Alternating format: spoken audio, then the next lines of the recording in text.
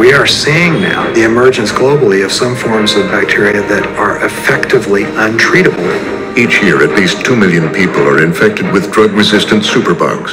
He had some bugs that they had never seen before. We immediately went on high alert, the equivalent of DEFCON 5. No matter what we did, the bacteria was still spreading. Frontline continues its reporting on how we got here.